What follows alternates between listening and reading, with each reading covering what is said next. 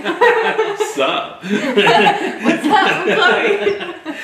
Hey guys, uh, welcome back. Erik Johnston here. I'm with a friend of mine, Chloe Hockersmith, who's a, a, uh, model, and uh, many of you guys have probably seen some of her photos that we were posting online with Facebook and Instagram and so forth. And uh, the story of how we kind of met is that uh, I used to know her parents back uh, in about 20 to 22 years ago when we were That's work, so working. crazy. Hey, that, that's a long time ago. yeah. We're, we're old. Uh, back then we were, we're working at a different airport and we've reconnected working at the, the airport now in uh, McKinney, Texas. And with you being a model now, uh, normally you're pretty busy, but everything kind of started shutting down with the COVID. the yeah, I haven't Yeah. shot in so long because of COVID. Because Really? they don't want all the makeup people and the photographers and stuff all coming together. So no one's working, which is really bad because the photographers and models don't have like anything to do now because of the COVID. It sucks. but yeah. So everything everything just kind of stopped. Yeah, You know? everything just stopped. I didn't have any jobs or anything, so I was just sitting at home, which is really sad. And with everybody out there, all you guys can probably um, relate to this. Uh, everyone's kind of wanting to do something. Uh, everyone's looking for something to go out and do. And Laura started talking about it. She goes, "Well, if you want to shoot Chloe, you know, because you know, being a photographer." And I was like, "Yeah, that, that'd be really nice." We're actually working with a model. That would be make it easier on me, and I could. I was like, yes, get in front of the camera. so, it's, it was mutually beneficial Uh-huh. for each of us. And my son Brett is getting into photography, so we brought him in there uh, on board as well. And uh, the your agency wanted what quarantine shots? Yes, they wanted some stay-at-home shots to just see us like lounging around on the couch, or and then people would reach out and want to work with us, where we would take our own pictures at home and work with brands from home. So everything was becoming like over online. Like FaceTime shoots were a big thing. I've been doing shoots over Really? FaceTime. Yeah, that's a huge thing now. I've done like four shoots No over. FaceTime. Yeah, and they turn out actually really cool. So they've been finding ways to do it like over FaceTime or just like at home and then you send you email the pictures from home to different brands and they say, Oh, I want to work with this person so they send you clothes and they're like, wear this, take pictures in this and we'll put you on our website. So that's what they've been doing a lot. I never did. That's so cool. Yeah, it's really cool. But um that's yeah, so I wanted to take like stay at home shots and send them into my agency just so they could send them out and see if brands would be like, Oh yeah, we want to work with her at home. So Which we did. We came over. Brett and I came over. We did some stay-at-home shots, uh, which were we were very happy with how those turned Mhm. out.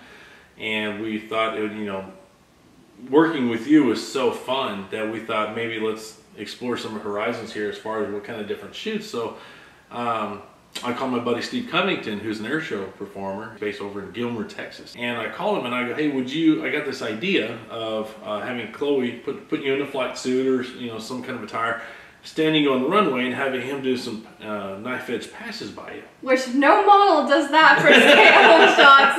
That's quite different. So stay at home shots we go to an airport for, for you know? Yes. but when I called Steve, uh, he was like, and I go, "Hey, would you be willing?" He goes, "Yes, yeah, let's let's do it. Let's get together. I'm dying to do anything because all the air show guys are staying home. yeah, I bet everyone's dying to do everybody- every- every- everyone's going crazy. yeah. So it, it worked out really well because Steven has got his own aerobatic box out there, which means that we can basically shut down his airport and be totally legal about it. Okay, and we did a safety briefing, and then uh, what was, I don't know if you remember one of the things that we told you that we were adamant about is that you cannot move. Yeah, stay still. Yes. Yes. So that made me feel better though, because y'all told me what was going on, and I was like, oh my gosh, I've never been near a moving plane, but y'all made me feel really safe with all the precautions and stuff.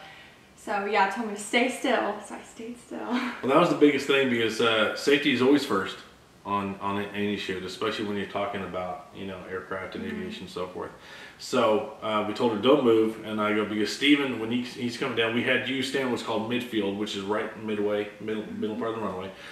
Steve would come down, he would establish his pass, and then he would adjust it going down the runway. And then he told me, he goes, he goes, when I pass, let me know if you want me, uh, you know, however feet you want me this direction or that.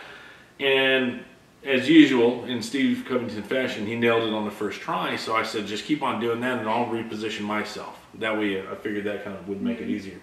And my daughter was filming on the first pass when he came in, and the wash and the the the the, the, the wake of the airplane Took your hair my straight hair, up. and I like, was pushed forward. It was so cool though. The whole time I was like, oh my gosh, it was so cool. Were, were you scared at all?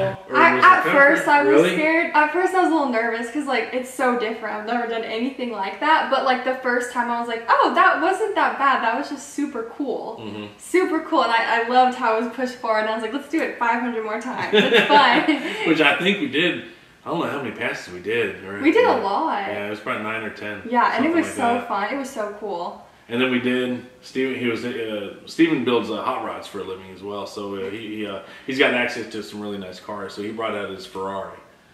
And That then- was cool. then we did some- All of it was so cool. I was Yeah. like, yeah, I'll take that car. That's my new car. you can give that to me for free. So for home, home quarantine shots, we also went out and did knife edge specials with the Pitts Special on the runway and the Ferrari outside. the bougie way. But yes. the bougie version of doing things. Well, this video is a behind the scenes look of the shoot. Okay, so it's kind of raw, put together, and uh, just have fun with it. But thanks for tuning in. We hope you guys enjoy it. Thank you. And that's the awkward